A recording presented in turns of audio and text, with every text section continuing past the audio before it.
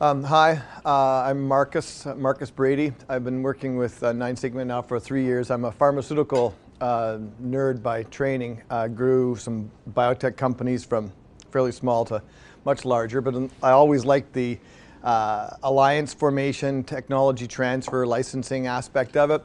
And uh, that's the reason that sort of drove me to um, uh, take the license for Nine Sigma to Canada. But I have to say that I was uh, inspired in my biotech career uh, by the, uh, the Goldcorp Challenge, and I was a treat to meet with Rob a year or so ago to talk about that. And um, it's interesting to see how the industry, with respect to open innovation that I'm in, has evolved so much in the last three to four years um, projects uh, and the way they're undertaken to catalyze uh, innovation are much more uh, rapid now and streamlined, of course, by that ubiquitous tool, the web. So um, uh, I'll try to interject my 35 minutes, a little bit of humor. Here's my first bit. And it remi- I kind of thought this may be what happened at Goldcorp when you showed up with your idea. Did you get that sort of stunned look on people's faces when you? Initially. Yeah, okay, good. Um, so, a Nine Sigma is a 14 year old company. Uh, we've done about 3,500 projects, and we're all about helping companies to overcome that blue yellow um, uh, antagonism. We're basically trying to help companies bring them um, solutions from around the world because what we're seeing happening, and maybe in part because of what Nathan's saying, it's in small companies, such as the ones we're talking about here at this table, where a lot of this innovation is happening. And, I, and I know I'm one of them. I don't like being in a company of 5,000 people. It just drives me crazy. Um, and uh, given that a large chunk of this R&D is spent is happening outside, it becomes a little more invisible to you guys in these larger uh, organizations. so uh, what I think has been learned over the course of the last know, decades in innovation, uh, and in particular in lar- uh, large and small, is that uh, as the technology uh, development speed of technology increases and we end up with um, more convergence, it's not so much about ownership anymore, and in particular in the mining industry, it's more about it's not about ownership, it's about access. I mean, um, mining companies aren't going to be developing all sorts of gold sniffers. They're going to find them from other people. They're not going to developing uh, ball grinders themselves. They're going to test them and make sure their suppliers can build them fast. and uh, that's basically what's driven the growth of our industry. That is to say, the open innovation intermediary industry. It's uh, about, uh, finding those organizations. Uh, for example, one of our largest clients, GE, uh, to help them with their innovation activities, help them get out of the mindset that uh, they have to do it all themselves, a closed approach, and help them um, uh, do what they do best. So, just a quick definition about what OI is it's the process of going outside your company to find solutions. and this is, and I'm, I've put a whole slew of slides in here. And what I tend to do is give them to whoever's hosted me and there'll be more information in here than I present so that you can use it later on. So uh, as you'll even see, there's hidden slides. If you ask Judith for them, I'm assuming she'll send them around to people, right? So closed is all about lots of the smart people are in the room, uh, and they all work for us. Uh, the company gets its own innovation done, and we're going to win. Uh, we can do this faster, better than everybody else. We've all heard this story before, and I've certainly seen it uh, in spades in different industrial sectors in Canada.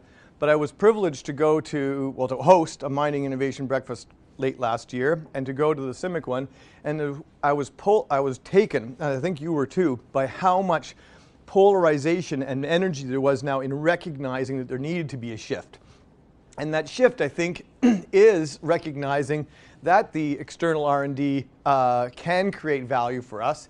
Not all the smart people work for us. In fact, I lost one last week to whoever, and I bet I wish I had him back, right? uh, so, uh, and this is happening across many other industries as well. And we study this, as do other other companies, and we've got lots of slides in this deck about this, so you can use them at your leisure.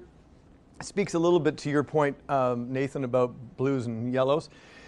Um, here, the uh, uh, manufacturing, finance, transportation, this adoption of open innovation across different industries. And interestingly enough, I think what drives, uh, here's mining and construction sort of somewhere in, in between, um, it's the manufacturing uh, and wholesaling companies, people that really need change rapidly, that are embracing open innovation uh, uh, the, uh, the, quickly. It's the larger industries, the industries that have had to have been more closed, have been more um, tight-lipped about their uh, innovation that have been a little less rapid to do so. Pardon the fuzziness. And I think it comes to this basically um, hey, it's easy for me to look for my keys where the light is. And let's face it, um, uh, it doesn't always work. Uh, I know I've lost mine many times and haven't found them. um, but I'd also like to think that we've started to realize that we, there are easy ways now to look for the keys elsewhere. that doesn't mean that when, I, when we knock on doors, we're not getting these messages. And if you, I'm sure all of these messages are pandemic, or if that's the right word, uh, to your organization. Um, I, it was surprising to me that people inside our company built up such strong barriers against openness.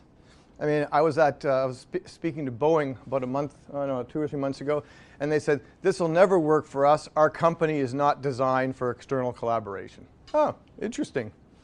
Um, uh, so again, helpful to know. I'll knock somewhere else.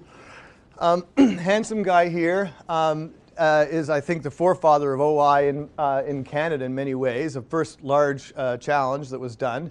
Since the time of uh, this project, uh, the, the speed at which contests can be dr- run has dramatically changed. how long did this take start to finish?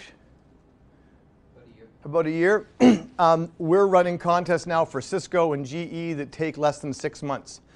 Uh, so uh, all this said that uh, the uh, activation energy barrier, so to speak, to get to uh, the end is um, much more accessible now than it was. And what's been done with it? Well, and again, I leave these slides in the deck. Um, there's six, uh, stories of with Newmont on uh, silver extraction. Uh, this project on Enbridge, they wanted new pro- approaches to pipeline leak detection. Uh, over 50 solutions provided in an eight week period, start to finish, eight weeks. now, again, um, uh, in different uh, technology approaches. And what we've learned over the course of the last, um, I guess, uh, say five years, is that it's by reaching outside of our own industrial sector that we uh, bring in the most uh, advanced technologies that have been applied in other places so that you're able to take advantage of the r&d spend that has happened amongst others and that's certainly the case in oil and gas uh, and it's the case for example in this uh, i think it was a Schlumberger project on waste heat recovery um, the, the notion being that what's uh, the investments that are made in your industry uh, in R&D are focused on certain areas because, for specific reasons. The investments that are made in other industrial sectors are done so for their specific reasons. By finding those overlaps and proving, uh, and proving the applicability of a technology, you end up leapfrogging uh, your problem. I won't get into this one. so what I'd like to do, just for a brief moment, a bit of entertainment, is uh, talk to you about why this is, and it speaks directly to your point about yellow and blue on your table is a little card, a little white card, okay? And I'd like you to take a look at this white, light, light, white card, and I'd like you to fill it with a little bit of information. Uh, here, Nathan, there's a few here. Please. and this isn't the ideal example, but it, it'll work and it'll show you what I'm trying to get at. um, uh, the curse of knowledge. The better we get at generating great ideas and new insights and novel solutions in our field, the more unnatural it becomes to communicate these ideas clearly. There's lots of literature on this. In fact, this experiment that I'm going to tell you about right now is done in the 70s, and there's been all sorts of research just about this experiment um, uh, that's, been, that's been done that I'm hoping uh, will stick, pardon the pun, to you guys. Oh, look, and if you've done this experiment before, um, have, who's done this experiment before? Okay, shut up. Uh, okay, um, you're asked uh, by your boss to take the, mat, the, the matches, uh, the tacks, and the candle and do the following. How to fix a lit candle onto a wall, a cork board, so that the candle won't drip onto the table. To do so, you may only use the following along with the candle a book of matches and the box of thumbtacks. Okay, you got a minute. Draw it down. How are you going to do it? Don't look over anybody's shoulder. You got these items to use. And that's what you got to start off with, okay? Those items. Got a minute. Wax is getting on the table. Come on.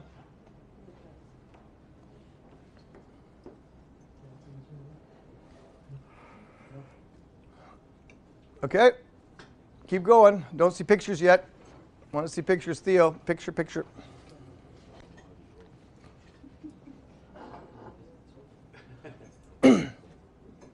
okay.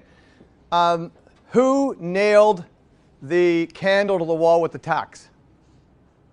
I did it before. You did it before. You nailed the candle to the wall with the tacks. Is that a good idea? No. Okay. Um, who nailed the box to the wall? Okay. Who did something else than that? I um, actually put it to the corner and not nail it. Oh, okay. there you go. this doesn't work. Okay? um, this works.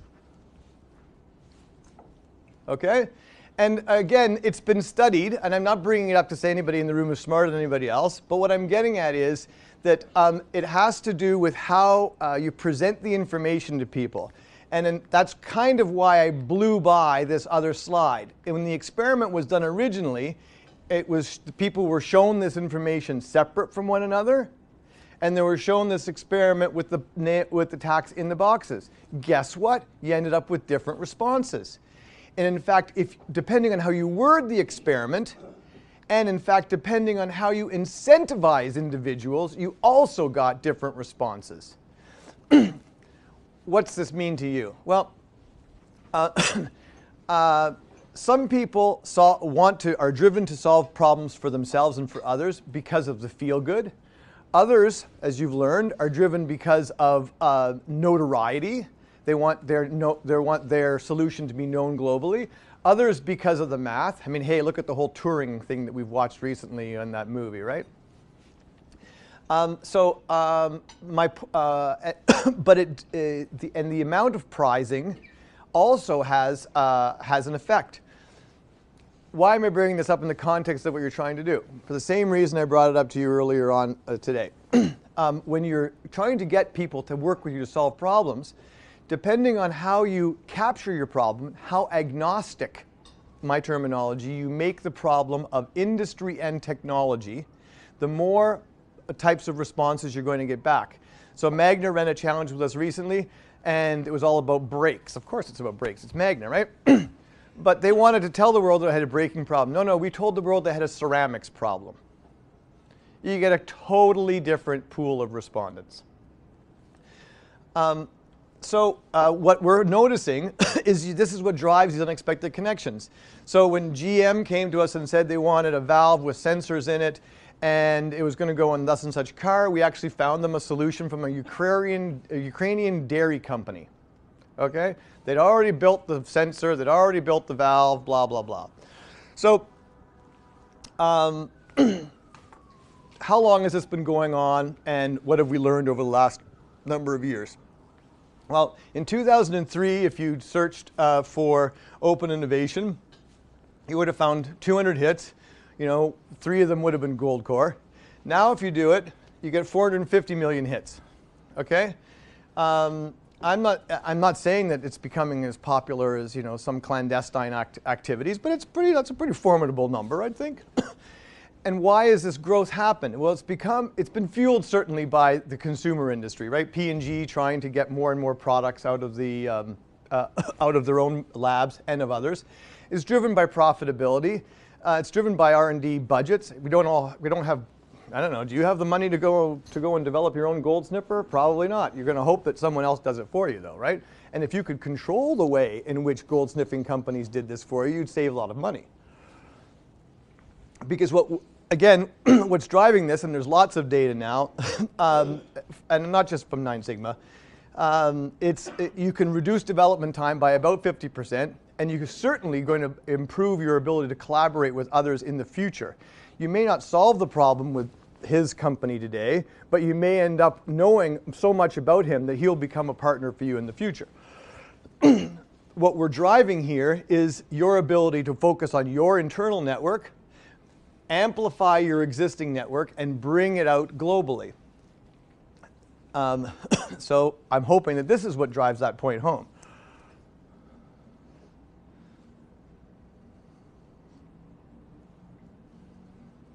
Okay, a little humor, I hope. Um, so uh, what we find in our process, and this is again goes back to the candle experiment, is that 50% of the responses that we get back don't come back from somebody that we sent them to. So we send it to Jim because he's optics and gold, and he goes, uh, uh, sorry, optics and metals, uh, and he goes, I don't know anything about platinum and he sends it off to his platinum buddy in wherever, and then we get a response from him or two of his graduate students. and uh, again, what, what, we find, and this is these are examples, I, some of which are well, all of them are ours, but some of which I think you've seen. This is my favorite one right now because it's starting to penetrate Toronto just recently. The, uh, what do they call it? Uh, the guy called it drinks from space. Uh, why? Because you go to the Coca-Cola machine, you press the button, and you can have cranberry lemon Sprite. And Coca-Cola knows how many times the, uh, the, that button's been pressed, knows if Mississauga is the bastion of cranberry lemon Sprite, can do direct marketing to them, can sell them crap right from the damn screen, knows that its products aren't being tampered with. All this stuff comes from sharing the problem globally and finding a partner that can innovate more rapidly around this. I won't get into the other examples, they're there for you guys to look at later. Why do they do this? Again, just a quick couple of, um, just a quick moment. Establishing new partnerships, exploring technological trends. There are other reasons, but I'll let you guys explore them. Benefits include cost and risk sharing. Yes, share of external innovation contributions to R&D, cost benefit evaluation of innovation partners. The great part of this whole process of looking outside for others and doing so in a controlled and sometimes anonymous fashion is that you actually get to go to shows most wins all more, more rapidly, right? Um, half of the time, our, uh, the projects that are run in open innovation forums are anonymous. That is to say, it doesn't say, as some would boldly say, Goldcorp seeks. It says mining company seeks. and I, my challenge to the group is if you know you share a bunch of environmental challenges or a bunch of gold sniffing challenges or whatever the case may be, and you're standing there at the sideline waiting, I wish that technology would come, like Charlie Brown waiting for the, you know, the game, I say put up your hand and share the problem with two or three other people, like CIMIC or IMII or whoever the case may be, or SRC, and let's get the thing done. Um, these are some of the folks that are already in our pool. I'm not going to spend any time on that. What I want to spend time on are the following four slides. One of the companies that's selling you guys the most stuff is GE. This is their, this is their mantra, says Thomas Edison. I'm going to find out what the world needs and then I proceed to invent it. They've got a new trick. what they do now is, and this is in their slide deck, what, because they're a client, 4,800 team members came together to design twice as many GE product concepts, and none of them was a GE employee. Oh, hmm. How do they do this? Well, this is what most people do, and they just basically made their little funnel bigger, right? They get more ideas and filter them better. And then they do this. This is the part that really irks me, but it's great at the same time. I have an idea. Let's ask our clients for their problems. Let's get their solutions on the cheap and then sell them back to our clients. Is that revolutionary? I don't know. But we're running these things all the time, and I ask myself the question, and I'm not selling this with you with respect to Nine Sigma, I'm just saying, I ask myself, as Canadian mining companies, can we not, do we not have high accuracy, high throughput inspection issues? Do we not have uh, water and process, water processing issues? Of course we do. So I ask myself, if all of you do and none of you have the dollars that it takes to solve it, maybe there's an opportunity here. Certainly, this guy um, who, uh, he was from Deloitte, right? Yeah, Deloitte. He seems to think that's the case. Um, this came out just before the mining breakfast, and it speaks exactly to what Nathan was saying at the beginning. business as usual is no longer uh, possible. We have to recalibrate. Um, and so it seems to me that we could recalibrate around a number of different projects. And I'm not saying, again, I want to make it abundantly clear, I'm not saying that Nine Sigma is the solution. I think the solution resides actually here in the room to a certain extent. Um, COSIA, the Canadian Oil Sands Industrial Alliance, took them two years to do it, but they put 14 member companies together to share intellectual property related to the environment. Sure, it cost them billions of dollars, but I'm sure they're getting SR&D credits on, on the back end of this. I'm pretty sure of that. And I ask myself the question, if there isn't a possibility of this to happen uh, here as well. Examples of other projects that have been done in this space, just to hammer it home that they come from anywhere from new uses and processes for molybdenum all the way through to imaging technologies for dark and stormy nights. No, it's not a bar scene. Um, dust suppression on large properties. but again, this is a mining project we ran, dust suppression on large properties. I didn't know it was an issue, but after reading up on it, I did. And then when it came across my desk, I sent it to the Forest Products Association of Canada. Because guess what was happening in BC? All those, those was, was a number of mills burnt down over the course of last summer, right? Have they solved the problem? Answer no. Could you get them to look outside of where they were at no. And I don't, I don't get it. Was it a whole room full of blues? I don't know. Um, but it did definitely, I mean, it was as blunt as this, and it still didn't actually catch them. I don't know why. I've got a slide here that, again, just for reference purposes, if you're thinking about, well, what is open innovation? Open innovation, is it only the contest, such as the one run by Goldcorp? No, there are all sorts of different facets to open innovation.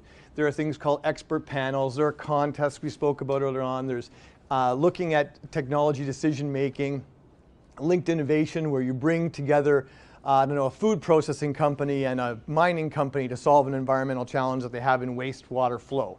Again, if you're paranoid about Barrick helping your company share it, then don't bother with teaming up with them. Team up with somebody else outside of the industry that shares a similar problem that's also prepared to invest.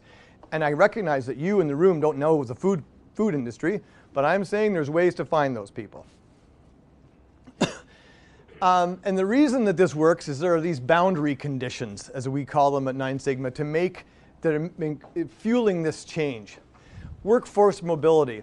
Um, some of the folks in the room I've realized after playing in mining now for a, about a year, if you're in mining, you may stay.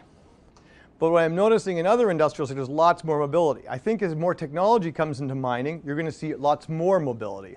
So I don't know how it will play uh, out, but uh, that's point number one. Presence of internal uh, R&D resources, you definitely need to have them. And it's unfortunate that in the mining sector in Canada, this is being eroded. does make the potential for external collaboration a little harder. Unless, of course, you train up your folk. and of course, there's this development adherence to basic IP rules and expectations. No one expects to play without any intellectual property protection. That's unwise. Uh, and you need to have some game, uh, some rules to the game internally. And you have to be open enough to be able to listen. Um, sure, the guy may come to you with some wild ass uh, crazy idea, but if all he sees at the top of the fence is no, no, no, no, no, uh, please read um, my previous discussion, first discussion with our mutual friend, Mr. P. Uh, no, no, no, no, no. And then, or, and also no, no, no, no, no at, Va- Vale. And then I find out they nuke 75% of their staff. Okay, well, that's fine. I mean, hey, you got to have uh, acceptance. uh, this is how we get it done, but I'm not going to spend any time on that.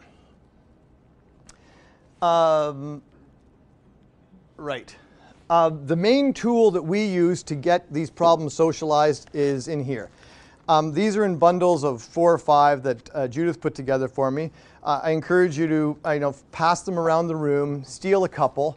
Uh, they're, no, they're all, these are like, if you like selenium, take selenium and then pass them on. If you don't like, okay, and then if you like something else, then take something else and then pass them along. these are examples of um, uh, how we get the word out. Again, we use the term agnostic of industry and technology to make our uh, proposals and demands clear, concise, and compelling. This one here was cutting and handling uh, technology for micropolymer rods. You know, please insert reduction of selenium from coal mine effluent. this process takes eight weeks, um, start to finish.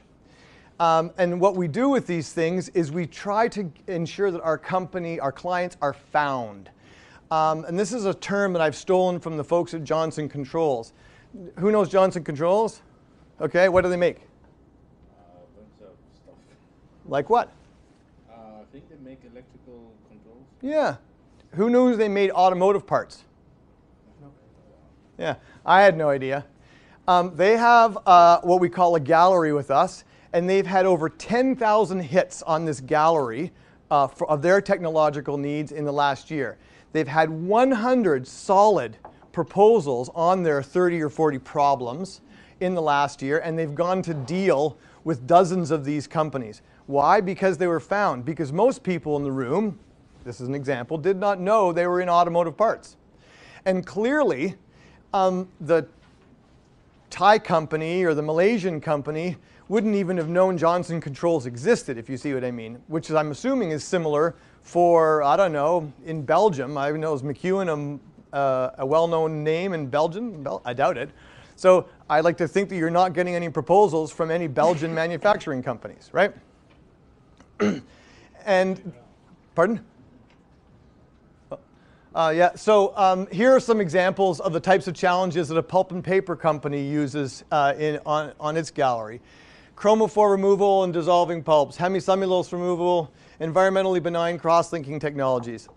the note, what I'm trying to get across here is that um, uh, there needs to be a, um, a willingness to be found and a process inside your organization if you're interested in open innovation to funnel these uh, solutions and they come in. And the more, um, uh, I guess, uh, robust your process is with respect to filtering, the more efficient it's going to be with respect to producing the results you need. Um, how many proposals did you get, Rob, for your Goldcorp Challenge? 10, 50, 100? How many was it? Um, well, we had 1,400 people from 50 countries take down the data. Okay. And then we had selected semifinals. Of about 25 semifinals. 25. About 100 or so. Okay, so 14, 100, 25. Okay, and um, my uh, um, uh, they must have. Ha- I'm assuming they had people inside the organization to decide who they were going to play with. They didn't go outside with this. But now the process in some oil and gas companies is we don't even have the ability to know enough about sensors in. Um, Cenovus just recently hired a nanotechnology guy.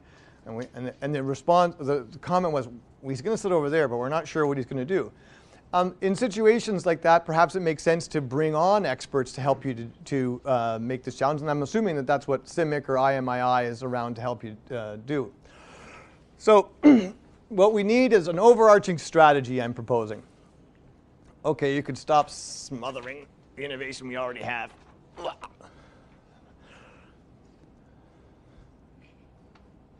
Okay. Uh, there's two or three slides here to close things off, um, uh, and they're just sort of little take-home messages to make to help you to find out, help you to remember what won't work. Uh, the four rules: uh, start your own open innovation program after a period of strong job cuts. Golly gee, isn't that the problem right now in the mining sector? So, as a consequence, if you want to get into this space, I'm encouraging you to uh, team up with either A, other mining organizations, or B, someplace like CIMIC or an IMII or a provincial research organization of some sort that can help you with this process. Um, provide a huge CTO budget to pilot open innovation, distributing it broadly all the way across your place, and, um, and using all sorts of different intermediaries and methods. Um, after 14 years, we've determined that uh, this sort of broad brush approach of distributing uh, uh, funds and not having a stepwise process does not work. And this is the worst. Um, well, we're going to do something just based on um, whoever throws stuff into the, into the kitty. Our friends at Xerox did this, and they're still a very good client of ours. They did the first one with 10 projects. They got beautiful solutions for 10 projects. Uh, they didn't have internal capacity to deal with the, to advance the project, so only one of the 10 got funded and got moved forward. And that isn't so much bad in the sense that one project advanced, but what it sends to the community is a message that the company is not ready. So I encourage you, if you're thinking about rolling in, opening into, into OI, that you think about this in a stepwise fashion. Uh, wait until uh, one project has delivered a successful solution before defining the budget and responsibilities to follow up. Um, uh, that's a surefire recipe to start a relationship with a solution provider and then basically cheese him off into um, not uh, playing with you any further.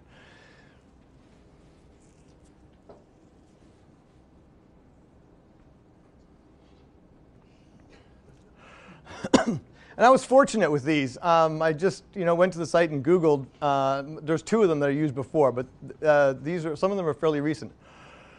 Um, so uh, I'm proposing that uh, the open innovation can bring you the unexpected. Uh, I hope that you will look for the unexpected. And I hope that you'll look at, there's know, 20 or 30 other slides on here that you can play with at your leisure uh, when Judith sends them around to you, the kind group in the audience. Um, there are about five examples uh, that we circulated around of projects that are, I think are somewhat mining related. If you have any questions about those or what I've presented, just please throw buns. Marcus, if I could just add to it, when we did the Goldcorp Challenge, um, one of the motivations was there's there are greenstone belts on every continent, and there should be expertise there. And I found within our own exploration teams there were differing opinions on where we would find more mineralization. So by reaching out and going around the world, you touched all these pools of expertise. And what became very apparent was that the biggest gold mine in the world lurks between everyone's ears. And if you can connect those minds, you, Mines, can, yes. you can get some very big results. Um, so um, it was from a standpoint of we were a medium to small size company and I remember sitting around talking to executives across the ind- uh, across the country and they were, were talking about what each other's doing and someone said oh we've got that discovery very few people knew about the discovery in Red Lake. And I thought this is the mining industry in Canada. So if they don't know about it in Canada it's a safe bet they don't know about it elsewhere in the world. So it was a it was a wonderful way of getting these results in front of a lot of people, and it created a dissonance in the mind of investors. Because they'd come in and go, "Wait a moment, you're a mining company. What are you doing on the internet?" And it was that dissidence that made it a very memorable story over and above the grades. Right. Uh, but it is a way that we don't have all the answers, as you said. And this is another form of innovation. Our talks have gone from process controls and exploration and all sorts of analysis in the three earlier. But this is a mindset that you have to alter and say there is a world out there plus 7 billion people. And they are, are all sorts of industries and a number of them are using the same they're looking for the same results with pieces of equipment they're using. They just have a different purpose. Um, so it's worth exploring. Well, be- before we open it up, uh, uh, you know, yeah, I have a similar comment. Uh, I was involved with, with the Barrick uh, Challenge for increasing silver recovery. And the beauty of that, it, it, it, opened up the world to Barrick. Like there were, you know, physicists, chemists, biologists, you know, music teachers, people who had no idea what, what the issues were in the mining industry. And now you had them thinking about problems in mining. And like you said, you know, there's a lot of smart people out there, and they had no idea, you know, there was even a problem with some silver recovery in some Barrick mine, and now you know, people knew about it. So uh, there's a lot of power there. It can be as simple as the mindset. Uh, and yeah, maybe you actually have to have somebody that knows about optics to do it. But I mean, if he's spending, spending most of his time look, worrying about some medical problem, um, doesn't mean he's got his mind turned to you, to your problem. What were you going to ask? So this is a question that I've asked many of the executives that I've worked for in the past, which, um, which in other companies um, I see a different reaction or behavior. Okay. In pharmaceutical, aviation, and stuff like that, you see a lot of uh, money being spent on R- R&D, and the the innovation seems a lot faster than what it's in mining. And a lot of times the answer I get is because, you know, our investors are looking for something else. Um, and it's to deliver projects that are on budget and on time, and the only way to do that is to repeat the same thing that we've done in the past because we know what that beast looks like. This mindset that uh, Rob touched upon, how do you change, and what is your proposal for changing that mindset to bring it from something like a pharmaceutical, and, and I'm not saying they're the highest, but Rest assured, I can tell you from my experience, yes. yeah, and to where where mining is or manufacturing is and so on. But the, before you answer, I, I think the question is changing now. You know, when I first started, the question was, you know, how many cents per kilowatt hour? You know, how much, uh, you know, how much does it cost to pump this much water? But now it's like, you know, there's no water.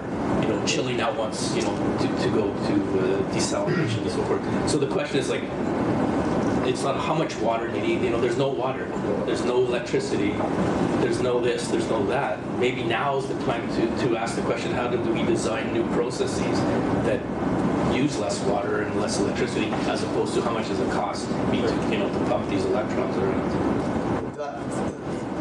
That's it. My, uh, my experience in pharma, 25 years, as well as the three years now from everything from IT to food dispensing and food products in between.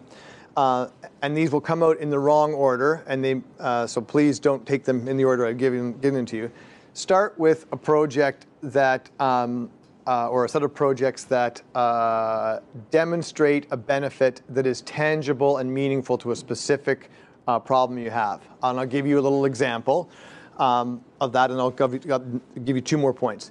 Uh, the Oil Sands Leadership Initiative came to us and said, um, we want, uh, we have, because of a regulatory requirement, a, a need to monitor our impact on mammals in Alberta.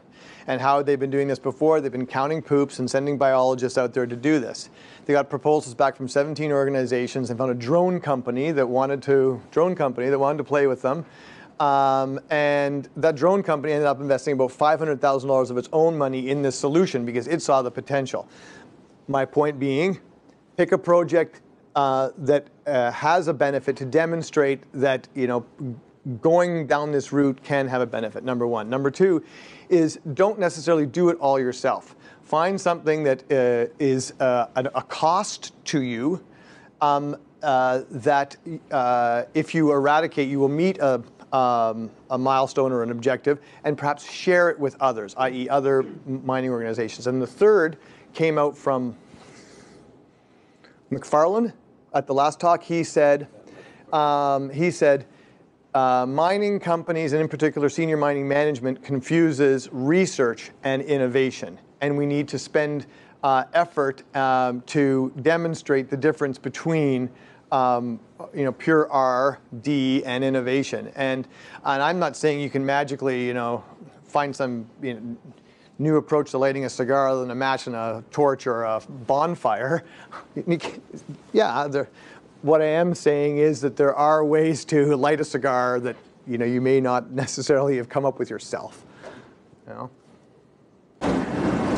I have an interesting story to share. I actually read about what Rob gave the Corp Challenge about six months ago. Okay. And um, I used to work at a large Vancouver-based coal producer.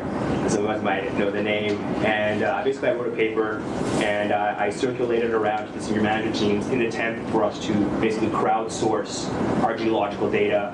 Um, you know, the theory being there's lots of mining companies, they all have dormant properties. We don't know if there might be some additional ore there. So why don't we sort of share our data with the world and get it analyzed exactly like we have a well-documented case studying exactly what Rob did. And so I was able to meet with the Senior Vice President of Corporate Development and the VP of Exploration. And um, what they did was they placed the emphasis on the downside risk versus the upside potential. They sat there and they said, this is absolutely everything that can go wrong, and, completely ignored the fact that we might have another $10 billion mine. Um, and the second thing they, I noticed was they said, well, our data is proprietary. We don't want to share it because um, share it with the world, you know, X could go wrong. And so they unfortunately shut, shut it down. But that's that's, uh, that's the circle I showed you. The blues and the greens are very good at telling you why you can't do something. I, I can come up with lots of reasons why I can't do it. That's not what I'm looking for. You want the yellows to tell you the one way differently than you're thinking of how you can do it. So you're probably surrounded with a bunch of. We had exactly the same thing at Goldcorp. People looked at it and just went, "Well, why would you want to do this? If we release all this data, they might buy the ground around us. Um, I said, yeah, but we have 55,000 acres and you haven't explored all of that. And then they said, well, someone could take us over. I said, well, if they're going to take us over, it's going to be at a higher price than the current market, and you all have options. And, and most companies don't have as much management, insider management as we do, so it's going to be a higher price. Um, and then I said, well, if make a big discovery as a result of this, and you're still working here, your career has just been enhanced. Oh, excellent. That's a great argument. Because, and, and more people are going to know about what you've done. So uh, you, you just have to look and say, what are the benefits to the people that you're trying to deliver to? And that, if you were going to resubmit that, I'd suggest putting those benefits in. Okay, we'll have one last one. We- We can wrap it up at the end as well, but we want to be fair to you. So Jim, go ahead. So I just want to talk a little bit more about what we're talking about here. If that sports psychologists say the people who are coaching Olympic athletes, people who have to perform, you know, sometimes in the course of seconds, they say you have to visualize yourself winning that gold medal. You have to visualize the, the thing, the, the goal that you're after. And rather than looking at the downside, I mean, I've just gone through four years of developing this gold sniffer, and it's a whole series of technological breakthroughs in a whole bunch of different areas all strung together. You always have to keep visualizing. That's what I want to get to. And if you visualize what you want to achieve, then you